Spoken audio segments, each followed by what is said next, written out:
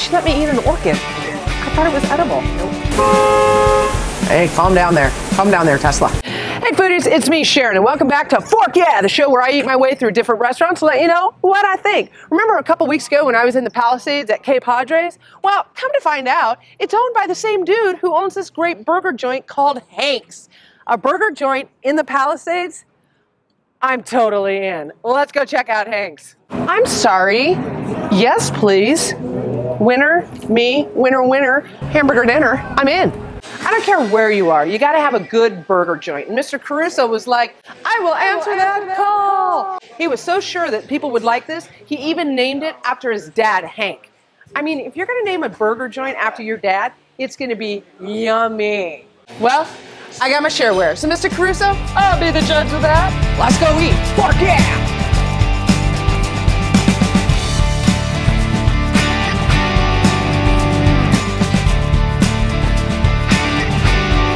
The things that I noticed when I first walk into Hank's is the atmosphere. This is like an old New York joint. You know what I mean? This is this is one of those places where you know you're getting ready to go out with some friends on a Friday night, a movie, a show, whatever, and your buddy goes, "Oh, I know this great joint we can go to to get a bite to eat beforehand."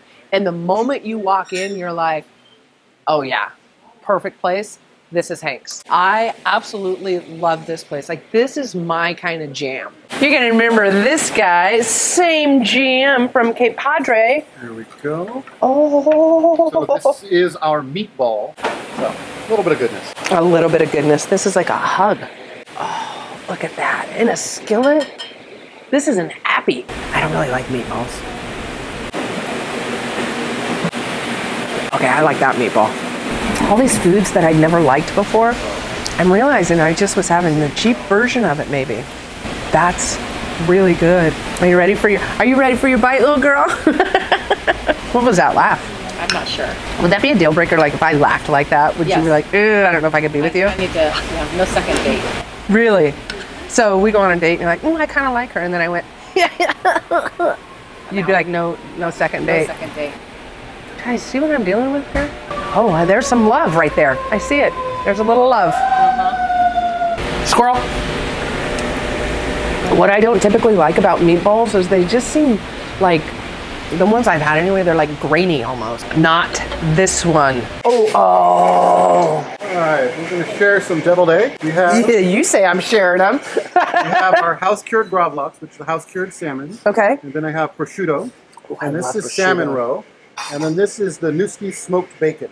So it's a double smoked, very, very rich and smoky bacon. Okay, I am one bite in these, except those because I don't know if I like those. That's salmon. I don't like salmon. I know, but this one. Mm-hmm. Oh, okay, that was really good. Okay, this one's prosciutto. I love prosciutto. I'll do just a half bite, and then you can have some. Mm. Mm-mm. You sit on a throne of lies. I know I should try them. I'll cut it in half. You can't start out making. I know, I know, Laura. I hear you. I hear you and I appreciate you. But uh, ooh, it's on my finger. I mean, that looks like what I used to go fishing with. It, it does. Uh huh. Right. All right, I'm gonna go. It was at this moment that she knew. She up. That's a no for me. That is a no for me. Ugh, that. Take that flour off. They're not edible. Oh, they're not. Oh. Oh, I, I, I ate it. I know. Am I gonna die? No. Oh. She let me eat an orchid. I did. I thought it was edible. Nope. I'm ready, sir. Prosciutto and fig jam flatbread with um, thinly sliced pepperoni. I love prosciutto. I loved. I have never had anything like this with the fig. I'm going in. Okay, here I go. I'm going in. Look, there's the jam. There's the.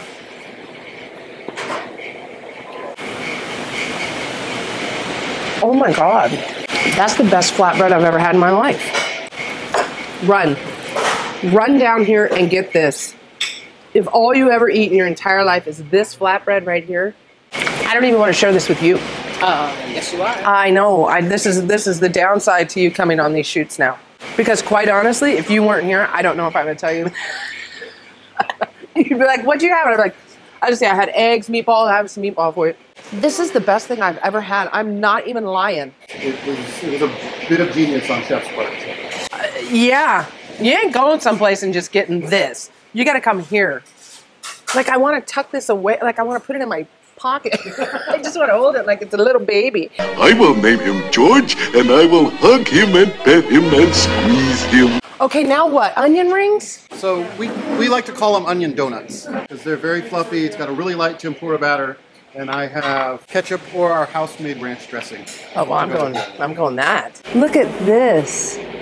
They do. They look like donuts. They're not onion rings. They're donuts. Look at that. Watch. I get in such a hurry to eat because I know how yummy. You love onion rings. I'm a big fan of them, but you love them because look at that. Here we go. Ranch is ranch is the only way, right? You're not going to be able to order onion rings from any place else. You have a very traditional, traditionally made diner shake served in a mason jar. So I did chocolate shake. Oh, I love chocolate shakes. Oh, thank you so much. You're very welcome. It's the perfect shape. Mm. I'll give you a sip. A Sharon and Hunter sip, not a Laura sip. I'll show you with water how Laura does a sip. Here's a sip. Here's a Hunter and Sharon sip. Oh, that's good. Here's a Laura sip. This is our fried chicken sandwich with a side salad to change things up. We use uh, heirloom cherry tomatoes for the side salad.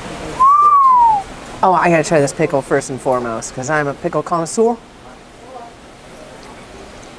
Mm -hmm. It's so cute they sent me a salad. I mean, that's adorable. That's adorable. I gotta cut this thing in half. Nobody can just go in willy nilly with this thing. You know, all my taste buds are changing with this food, so I'm leaving the cheese and the tomato on. A few moments later. I don't think I like the tomato, but the cheese I think is good. It's got just enough of a kick to it, but not enough that it bothers me. You know what I mean? It's so good. I'm even gonna have a little bit of the salad just to, you know, change things up in my belly. It's gonna be like, what is this? Feel healthy. Mmm, that's good. These pickles are really something now. All right. So this is our Reuben. Turn it around to the camera first, so you can see double stacked. Oh, look at that. Look at that. That is amazing. I'm taking this apart because they, they double stacked the bitch. Look at that pastrami. Saying, Dying. dying. Like I almost have to, I'm gonna start with a french fry. I gotta gather myself. Gather myself, I'm gonna gather myself with a french fry. Here's my palate cleanser. I hesitate so much because it's gonna be so good that I'll never have that first bite again. You know what I mean? I'll never get that first experience again. That's why I hesitate.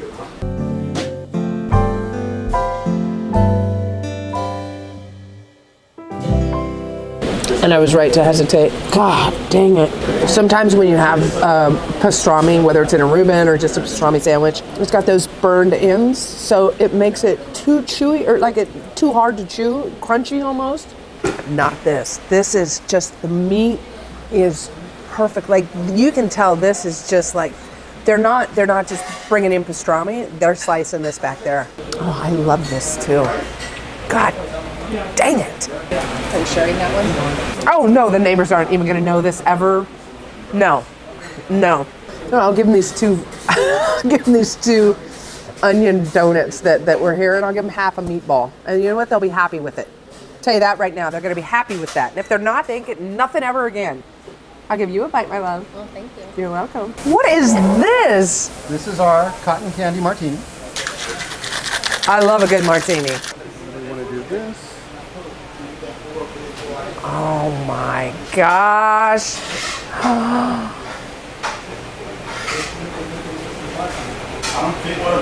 now, what is it that you just poured in? It's a strawberry and vodka. Oh, I'm a little excited about this. You know, it's like just when you think you're like, oh, okay, we're winding down. I think they're gonna bring. They bring out something like that. What the?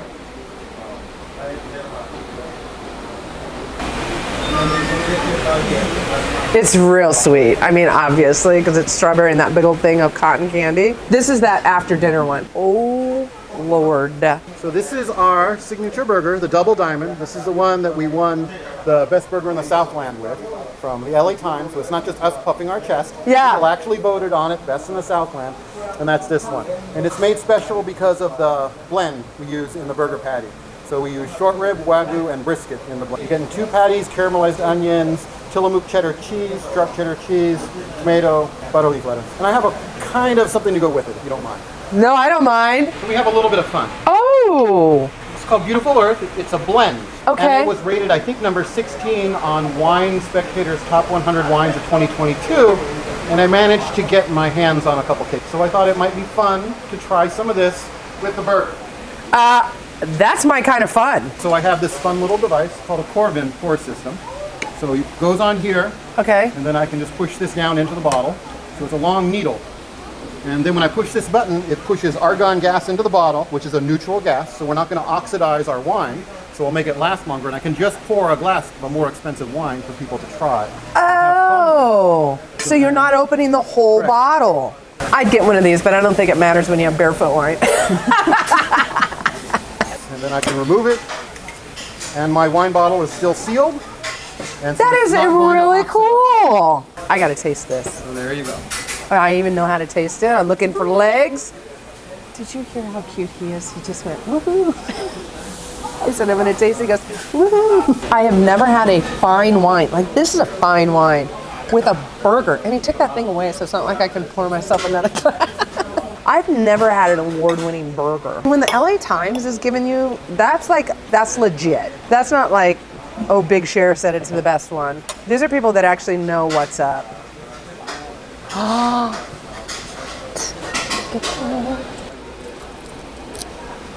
This burger is so freaking messy.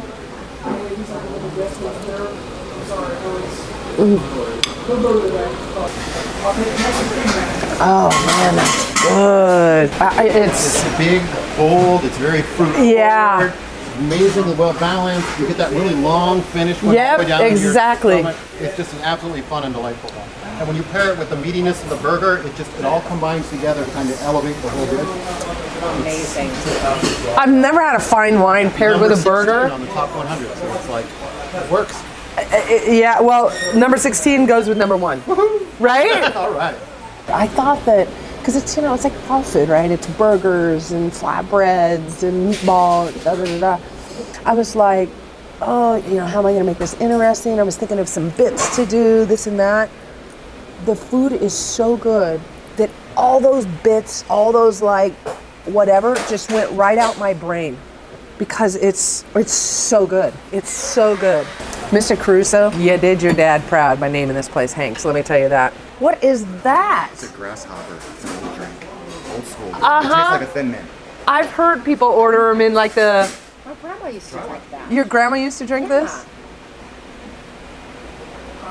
Oh, that is so good. It does. It tastes like a thin mint. Oh, oh well, yeah, right. So now we're gonna cut open this little skillet cookie thing. Oh, I was getting ready to like have to break it. You know, like there's that one place that serves a skillet cookie thing, and you have to like.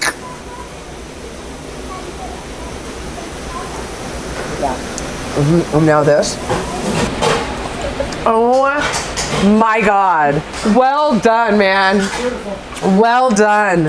It's like if you were sitting in an oven and eating it as it was cooking. It's like a chocolate chip cookie that's perfectly cooked. And then they put, is it salted caramel maybe? Or just caramel? I, I'm not lying when I say, like, they're like, oh, we're to bring out a skillet cookie. I'm like, oh, okay. you know what I mean? Like, not, not rude, but like, oh, okay. It's like when they bring out a salad. It was good. So I thought it was going to be the same thing with this. And it's not the same thing. And I don't know how you make those, but we need to learn. I'm a big fan.